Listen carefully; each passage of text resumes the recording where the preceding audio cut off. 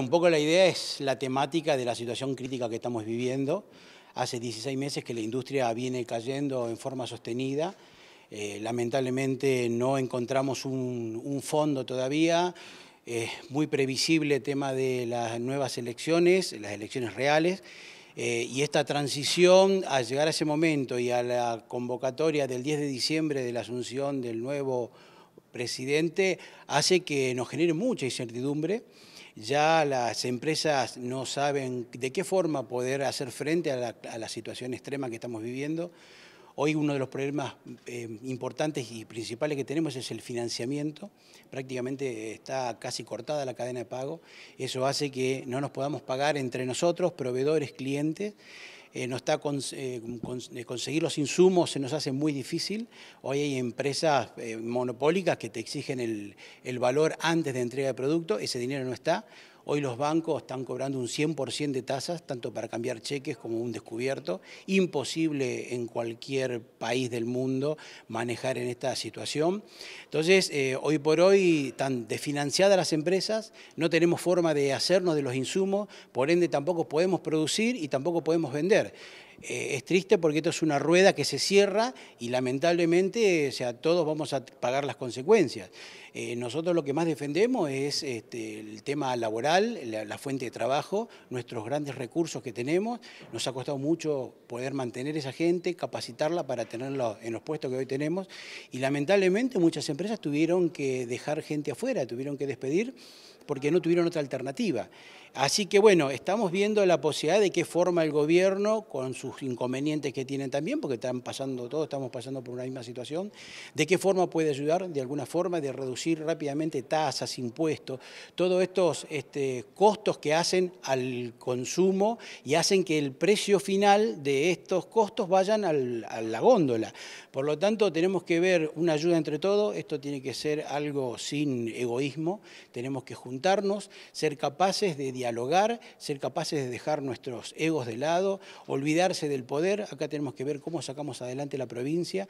La industria es el motor principal junto al campo de la generadora de trabajo, de la generadora de dólares que hace para que realmente sea sustentable este, un país y en este caso una provincia. Es muy difícil, este, muy difícil que nos den esos números. Eh, a nadie le gusta mostrarlos, sabemos que existen, sabemos que hay empresas que se han ido, sería este, muy necio negar esa situación, pero es una realidad la que vivimos. Eh, nosotros somos los prioritarios y, primeros que, como contamos al ministro, no nos interesa sacar gente afuera. ¿Qué pasa que hoy por hoy creen que el empresario es una persona que está explotando a la gente? No, para nada. la industria hace muchos años que ha cambiado y ha modificado su trato con el empleado. Hoy hay una, cierta relación muy directa. Hoy el hecho de que cada uno de nosotros sepamos cómo es el nombre de pila de un trabajador hace que hemos trabajado 25, 30 años, que es el promedio de este, antigüedad que hoy tiene nuestra gente. Y eso hace que haya una relación más que de patrón empleado, como normalmente se dice. Entonces, hoy la relación es distinta, eh, mucha gente entiende la situación, eh, se pone de nuestro lado y dice, jefe, tenemos que ver cómo salimos, eh, sea optimista, nosotros tenemos que juntar a la gente, hacerle entender de que la situación es delicada, pero no la tenemos que asustar. Acá tenemos que trabajar en conjunto, tenemos que todos aportar algo. Ellos resignar algo, porque indudablemente cuando, hay, cuando no hay para repartir, todos quedamos con algo menos. Entonces lo importante es que todos asuman que estamos en una situación crítica que hace muchos años que no estamos viviendo. Acá lo que tenemos que buscar es eh, mantener lo que tenemos. Hoy por hoy nadie habla de nuevas inversiones, hoy por hoy nadie está pensando en cómo va a crecer con su empresa, porque la situación que vivimos es mantenerse. Ya el que se pueda mantener realmente es porque hizo las cosas en forma extraordinaria. Pero no depende de nosotros, no depende tampoco del gobierno de la provincia.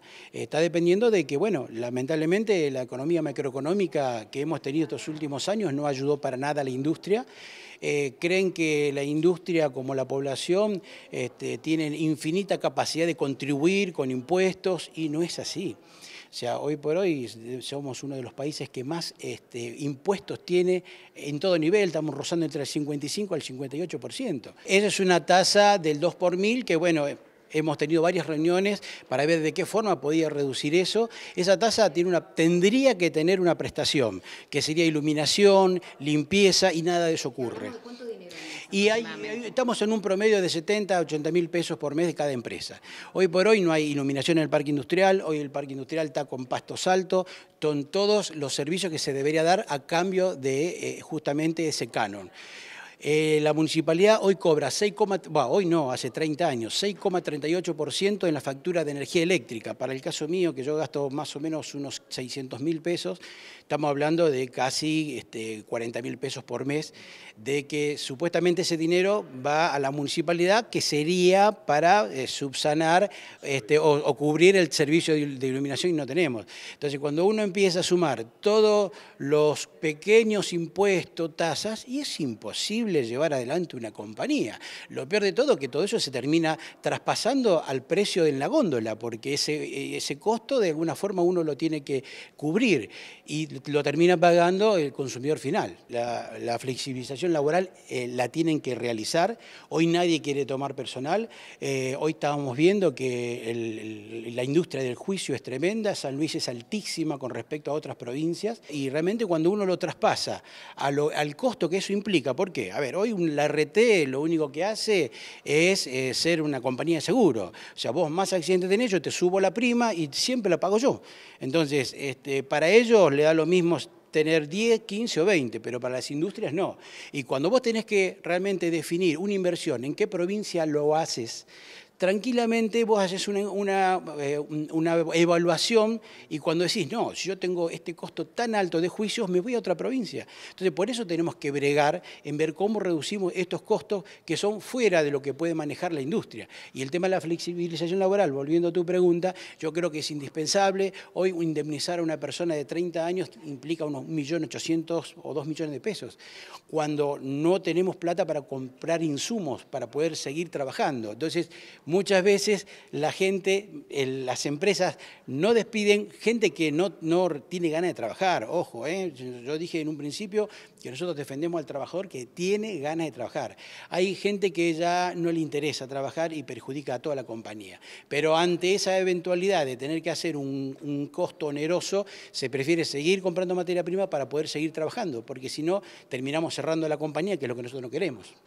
Eh, básicamente, qué cuál es el contexto actual de la industria y, la problemática también obviamente nos presentó el ministro que, está afrontando digamos, el Estado provincial ante todo este contexto. Digamos, En realidad hoy la situación del contexto de, cómo se ha caído el consumo en el mercado interno está afectando gravemente a las industrias que son de consumo masivo y que su producción se vende justamente en el mercado interno. Eh, Hoy está siendo muy complejo para las industrias mantener el nivel de actividad. De hecho, están en su mayoría adelantando los periodos de vacaciones y demás para poder bajar el nivel de stock que tienen eh, y, tratando de pasar este, estos meses, digamos, para no tener que salir a suspender y demás. O sea, hoy el esfuerzo está en mantener los puestos de trabajo, esperando que en el corto plazo la situación se revierta. Digamos, vacaciones. Ha habido algunas empresas que han, eh, en Mercedes en particular, eh, algunas pymes que han dejado de funcionar en este último tiempo y después las empresas que tienen su producción enfocada en el consumo interno, eh, que son la mayoría, podemos hablar del 80%, están en esta situación, en este contexto. tratando de mantener su, nivel de actividad en, cuanto a la permanencia del empleo, para lo cual adelantan vacaciones, entonces no es necesario suspender. El tema es que si después que se pase el periodo de vacaciones la demanda no está, eh, hay que ver, digamos, qué, qué alternativas se van a manejar en ese momento. ¿De trabajo? Justamente lo que estamos hablando con el ministro y, todo el equipo del ministerio es eh, qué situaciones de, de corto plazo se podrían afrontar como para tratar de que, de que este contexto, si bien va a seguir pegando, sea menor el impacto, digamos, ¿no? en el nivel de actividad. Y después entendemos que hay muchas situaciones o, o impulsar algunas políticas que serían más de mediano plazo para, para poder volver a ser competitivas las industrias que están radicadas en la provincia. Sí, nosotros vamos a dejar eh, un escrito que hemos traído desde Villa Mercedes, eh, donde están básicamente todos los puntos que hemos estado planteando, eh, con algún mínimo desarrollo cada uno de ellos. Entendemos que, que este es un inicio, digamos, de, un proceso que va a requerir de nuevas reuniones y nuevos puntos de acuerdo y de impulsar algunas gestiones que van a ir más allá de esta reunión inicial.